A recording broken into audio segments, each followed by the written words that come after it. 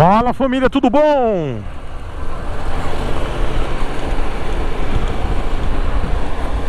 Eu tô bem pra caramba. Tô feliz. Vamos começar 2020 da melhor forma.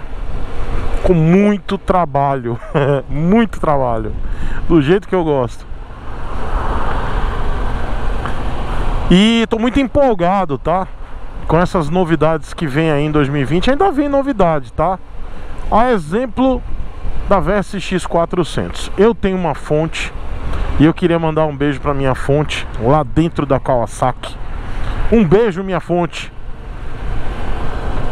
E essa minha fonte, ela me disse que ah, eu estava errado nas minhas previsões e realmente essa fonte ela disse e falou a verdade que eu estava prevendo aí que no salão duas rodas viria Versys X400 ou pelo menos um protótipo tal.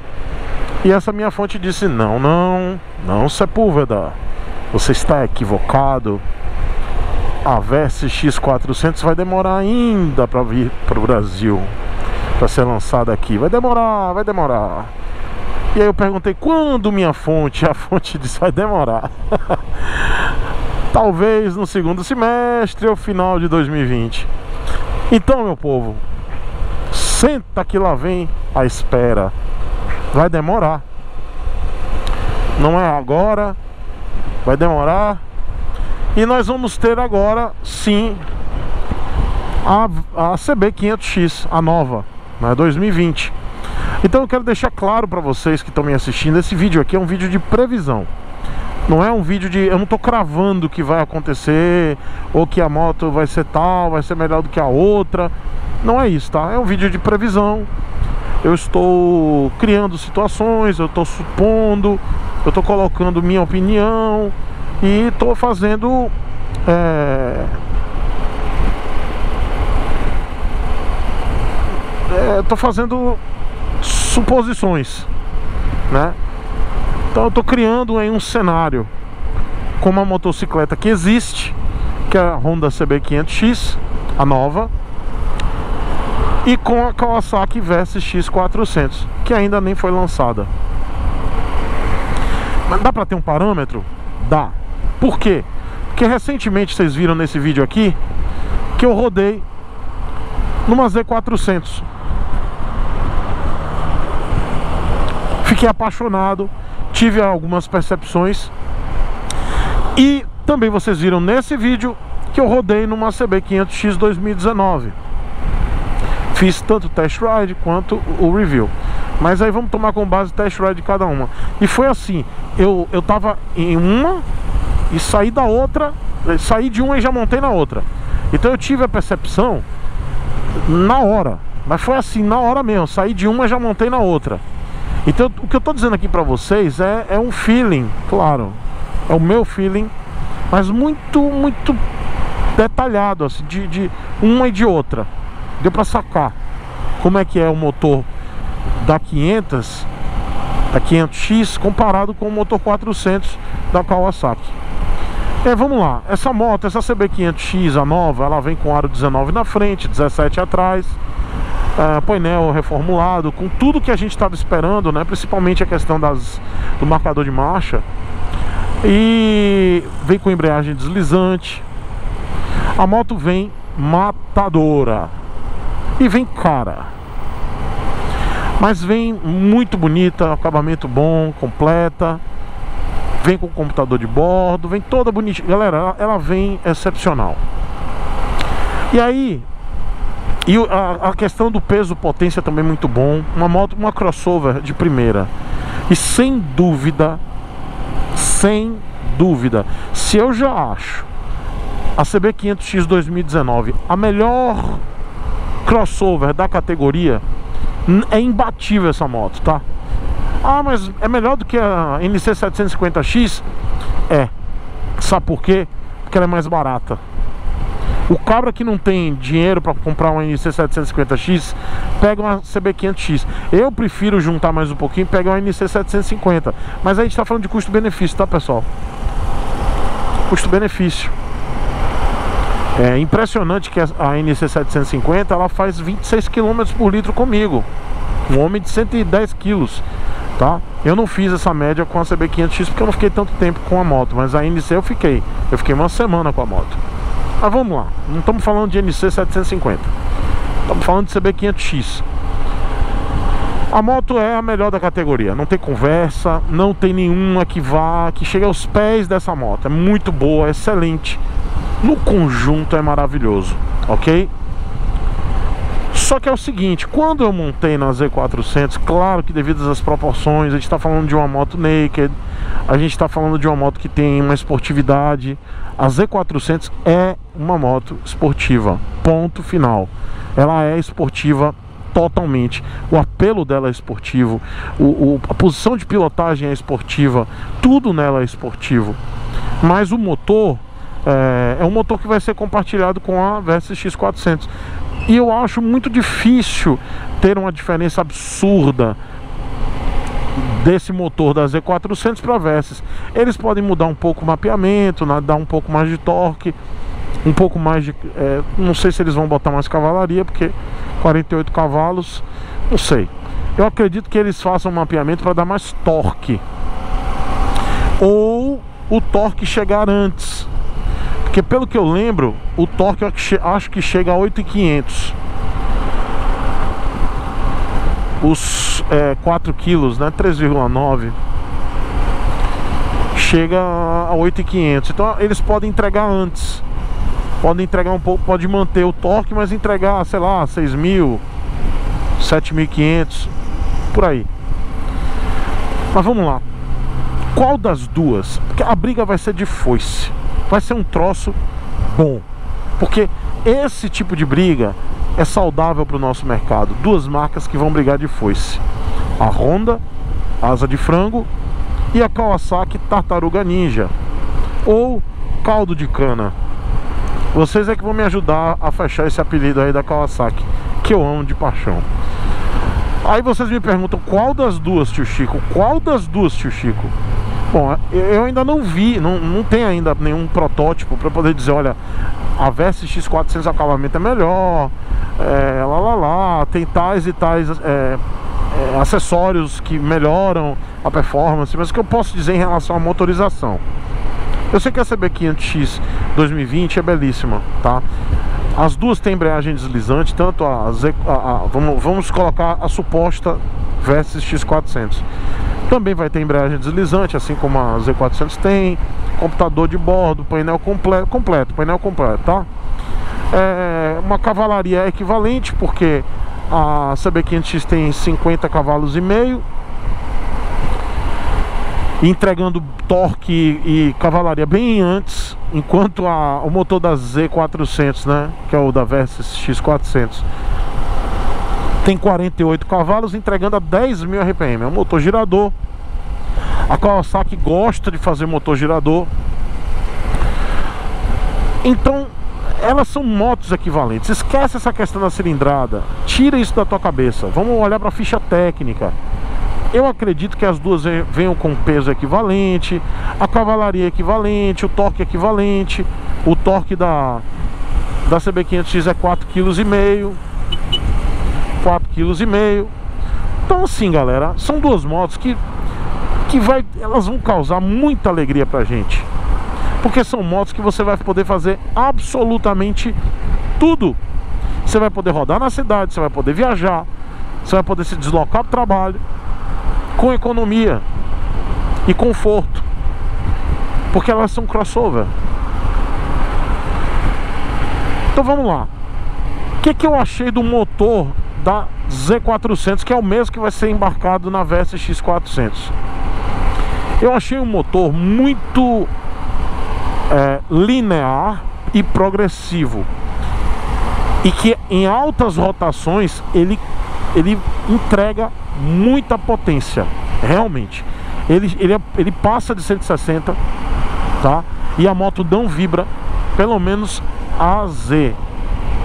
Quando a gente chegar numa Versys, a gente não vai ter essa mesma essa mesma aerodinâmica, porque é uma moto que tem carenagem, vai ter carenagem, vai ter bolha, então é diferente. Mas o que eu percebi nesse motor é que quando você chega, sei lá, uns 8 mil giros, ela tá ainda pedindo mais. Ela vai, ela entrega. é uma moto danada. Só que ela é progressiva, ela é mais lenta. A aceleração dela é progressiva. Não espere uma arrancada. Não espere um soco logo de cara. Não espere isso desse motor da Kawasaki. É um motor é, que ele começa lento, mas ele vai e é feroz. E se você não tiver cuidado, você vai chegar num ponto, poxa amigão, você tem que dar a seta, né? Pra onde é que você quer ir?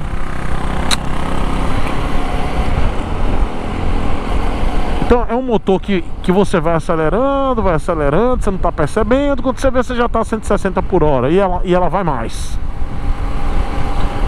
Esse é o perigo desses motores mais progressivos. Não senti, pelo menos na Z400, nenhuma vibração.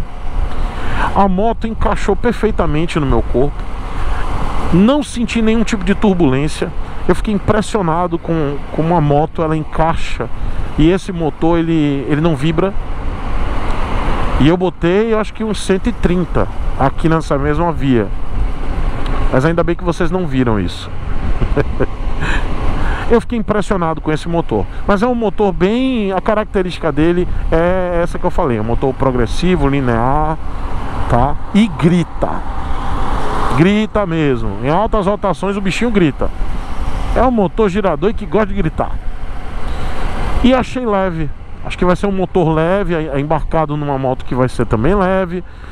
E galera, vai ser uma moto que vai valer cada centavo. A Versys, a teórica Versys X400. Vai ser uma moto que vai valer cada centavo e vai vender. Vai vender muito. A Kawasaki vai vender muito. E como eu sei que a Kawasaki vai fazer, ela vai lançar moto com promoção. Ela vai lançar moto com preço competitivo ela vai lançar moto rápido. Tipo, lançou, tá no site, já tá na, nas lojas. E é isso que eu gosto da Kawasaki. Final do ano mesmo, se ela for lançada no final do ano, vai ter IPVA, emplacamento, as, os caras sabem fazer negócio.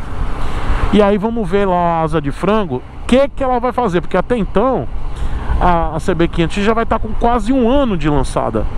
Isso eu fazendo a teoria aí de que a Versa X400 será lançada no final do ano de 2020. E aí essa moto já vai estar com quase um ano de lançada. Então aí chega a Kawasaki, a Versa X400 vai chegar dando chute na caixa dos peitos da asa de frango. Mas vamos lá, vamos falar da CB500X. Esse motor é um espetáculo. Motor nervoso, nervoso mesmo. Acelerações e respostas muito rápidas, entrega torque logo e entrega potência logo. Para o cara que é nervosinho, o cara que gosta de ficar acelerando e tendo retomadas e no trânsito quer aquela rapidez e consumir bastante, essa moto é ideal. Não, não é que eu estou dizendo que ela consome mais, mas o cabra que não tem aquela aceleração progressiva, natural, essa moto aí vai fazer com que ele consuma mais combustível, porque ela, a CB500X, esse motor 500, é incrível, é um motor que ele se acelera, ele responde na hora. Tem um excelente freio motor, uma coisa que eu gosto muito, freio motor e torque. E torque que entrega logo. Ele já entrega logo esse torque. Então é muito gostoso. É um motor que você não precisa ficar passando marcha toda hora. Ele acaba sendo mais econômico também, né? Com pessoas que, que realmente sabem utilizar a questão do torque, de evitar passar muita marcha, fazer as acelerações de forma correta. Então é um motor muito econômico para quem sabe usar. Para os nervosinhos vai ser um motor também maravilhoso, porque o que vai ter de doido aí querendo acelerar, desacelerar, fazer curva, jogar freio motor e deita e vai, vai adorar. Porque realmente é uma moto que ela é divertida. É uma moto que ela tem respostas rápidas, motor com potência de 50 cavalos e meio. É a mesma potência, se você pensar, a mesma potência de um NC 750X. Só que, claro, o torque de um NC 750X é de 7 kg, tá? É bem diferente. Se não são 7, são 8, mas é um absurdo de torque. É, a potência é menor, mas o torque é absurdo. Enquanto o torque da, da CB500X é de 4,5 Uh, eu, não, eu não posso me atrever a falar muito em design, tá? Porque a gente não sabe como é que vai vir a, a Versys X400. Mas eu deduzo, eu vou colocar uma foto aí para vocês terem como base. Eu deduzo que eles vão fazer uma espécie aí de mini Versys 1000, tá? A Versys 1000 da Kawasaki, eu acho que a Versys X400 vai ser uma versão mini dessa moto que é um desbunde. É linda, parece um tubarão. A frente parece um tubarão, né? O bloco ótico. E essa, assim como a, a própria Z400 é é uma versão também diminuta da Z1000 ou da Z900, eu, eu, eu, sempre me confundo, me corrijam aí. Então, pessoal, eu acho que, que a Kawasaki ela vence a Honda em relação a design, sempre. A Kawasaki ela vence a Honda em relação a design e também na relação da, do acabamento da motocicleta. O acabamento da Kawasaki é muito superior. Aí vamos lá, manutenções. É aquela coisa que eu digo, a Honda ela tem sempre a manutenção mais barata e peças fáceis. Mas qual é a grande diferença de uma Kawasaki? É o preço de seguro. Kawasaki ela tem um valor de seguro inferior ao seguro inferior ou equivalente à Honda, dependendo da tua cidade. Por quê? Porque CB500X em algumas cidades é inviável. É inviável mesmo, é muito perigoso. Então, infelizmente, aí eu digo infelizmente de verdade, muitos queridos inscritos e inscritas não poderão adquirir essa moto, porque moram numa cidade muito violenta, em que o índice de roubo dessas motocicletas é absurdo. Então a única opção vai ser sim pegar uma Z400X. Ah, tio Chico, mas as manutenções são de 3 em 3 mil. Galera, isso mudou, tá? Não, não é mais assim há muito tempo. É, agora é de 6 mil, parece, e tem é, é, é bem mais prolongado, tá? As, as manutenções em garantia. Então esse, esse, argumento aí já não se usa mais. Não tem mais de 3 em 3 mil, já está bem melhor. É, já está bem mais folgado, dá para sim comprar uma moto e não precisa ficar levando toda hora na, na concessionária para fazer aquelas malditas revisões de 3 em 3 mil, que não é uma coisa meio, meio absurda. E aí você me pergunta, tio Chico, qual das duas você ficaria? Vamos lá, esse vídeo eu vou ter que fazer um vídeo de novo, né? De comparativo. Isso aqui é um vídeo de previsão. Então, vocês têm que entender que é um vídeo de previsão. Eu estou fazendo uma previsão e estou conjecturando aqui coisas. Se hoje tivesse uma, uma VSX 400 nos moldes de uma Z400, né, com um motor igualzinho, né, seguindo a mesma cavalaria, mesmo mesmo mapeamento na ECU. E o design, como eu falei, tomando como base o design da Versys 1000 e eu vendo e testando o motor 500 da Honda, como eu testei na CB500X 2019 que eu amei, Sinceramente eu ficaria com a CB500X A nova, a 2020 Porque a beleza não põe mesa. Apesar de você ficar lindo, né? Ficar vendo a, beleza né? Ver a, a moto como ela é linda. Mas no caso Eu prefiro um motor que tem mais torque. Eu, como vocês sabem, eu não me importo com cavalaria. Eu prefiro torque, eu prefiro menos passagens de marcha Eu prefiro um motor que tenha freio motor mais efetivo. Eu achei o freio motor da... Até pelo fato dela ter mais torque Eu achei o freio motor da CB500X mais eficiente. Eu achei a moto mais... Eu percebo que ela é mais econômica na minha mão porque pelo fato de eu passar menos marchas, de eu ter mais de eu ter um controle maior nessa na aceleração, eu acho que eu consigo uma economia maior do que na Z400 ou Versys X400.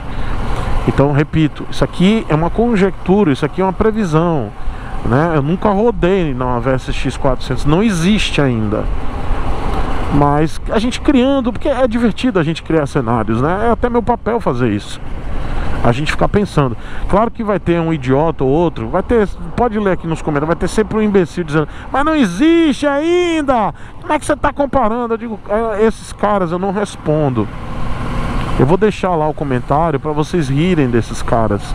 Porque eles são imbecis mesmo, eles, eles, eles não leem, eles têm, eles têm deficiência cognitiva.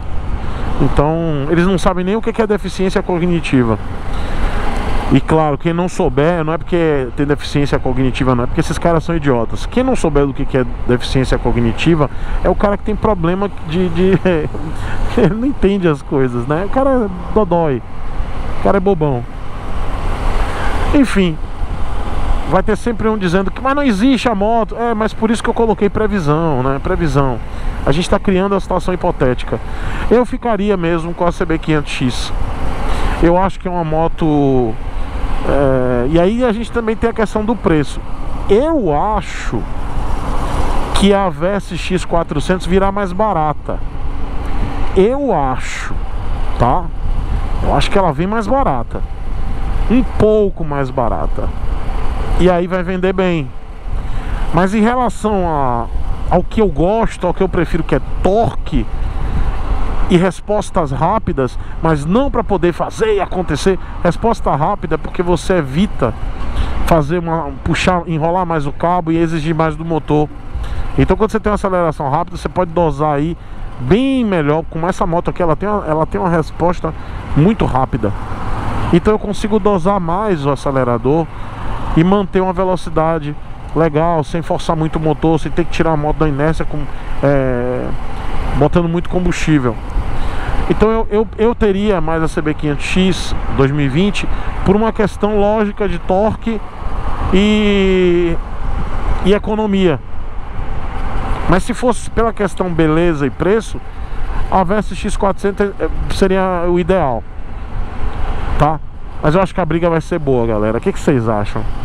Eu queria, eu vou fazer um pedido para vocês. Coloca aqui nos comentários o que, que vocês acham, baseado em tudo isso que eu falei agora todas essas minhas sugestões, opiniões, conjecturas, eu queria que vocês escrevessem aqui. Pode fazer textão, eu não me importo, vocês sabem que eu gosto, eu leio. Eu não posso fazer uma resposta é, à altura, tá? Eu peço desculpas para vocês. Eu não tenho como responder também fazendo um textão, porque eu tenho que responder a todo mundo. Então eu vou colocar um coração, eu vou responder mas eu respondo de forma muito prática e rápida para eu poder responder a todo mundo. Então eu espero que vocês entendam, tá bom? Mas eu gostaria muito, eu leio todos os comentários. Eu gostaria muito que vocês deixassem a opinião de vocês para que outras pessoas pudessem entrar no debate. É um debate gostoso, né? A gente poder conjecturar, imaginar como é que vai ser uma moto que com certeza será um sucesso a VSX 400. Porque a CB500X já é, já é um sucesso, tá? É, queria pedir para vocês participarem, participem das rifas, participem das rifas do canal. Quem já comprou e quer ver logo acabar essa a meta, a meta chegar logo, alcançar a meta, me ajuda, faz a divulgação junto comigo. Eu quero tentar ainda nesse primeiro semestre terminar com todas as rifas, todas. A gente acabar com todas para poder renovar aí, colocar moto nova, tá bom? Um beijo para vocês.